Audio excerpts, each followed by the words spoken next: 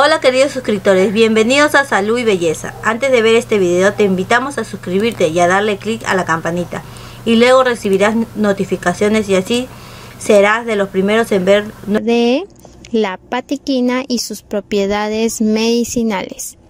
Este es un video de información. Antes de realizar cualquier tratamiento natural, por favor consulte con su médico de cabecera. Ahora sí, empecemos. La patiquina es una hierba terrestre con hojas de hasta 30 a 35 centímetros de largo. Crece únicamente en Loreto. Sus propiedades curativas se alojan en sus hojas, pues son efectivas para tratar la micosis. La micosis es una infección producida por hongos microscópicos. Estas infecciones pueden ser sistémicas, que es cuando afectan a tejidos internos del organismo como los pulmones.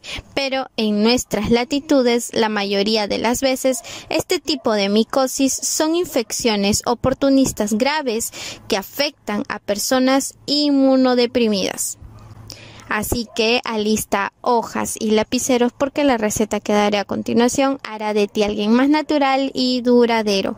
Lo que vamos a necesitar son 5 hojas de patiquina, 2 litros de agua y como utensilios una olla y una tina. Debemos lavar bien las hojas de patiquina, luego lo vamos a poner a hervir en los 2 litros de agua. Vamos a dejar reposar unos 5 minutos, pero no se olviden de que necesitamos que aún esté caliente. No vamos a esperar hasta que enfríe.